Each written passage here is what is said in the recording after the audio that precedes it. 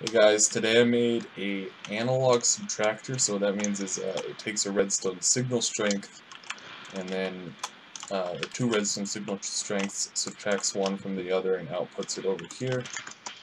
So it will take this one, subtract this input, and then output that one. So uh, if I give it, let's say 11 here, and then 5, it should give me 6 over here can see what it does. It gets up to 6. Um, let's try another one. Let's go 8.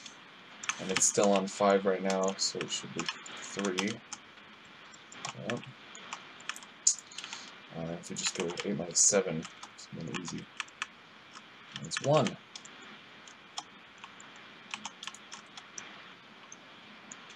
So, uh, that's uh, pretty much it. It just takes this signal and subtracts it and outputs it. Not much else to it. Um, this is actually also like a comparator. Um, so if, if you, uh, so there's a subtract mode and then this also middle input here becomes the value of input A here only if it's greater than or equal to input B. So if I have 8 here and 10 here, then this output strength is at 10.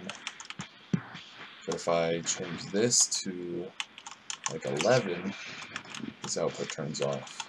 Only if it's at 10 or below, it turns on and is the output of input A. Um, oops. So that's it. Uh, hope you enjoyed. Bye.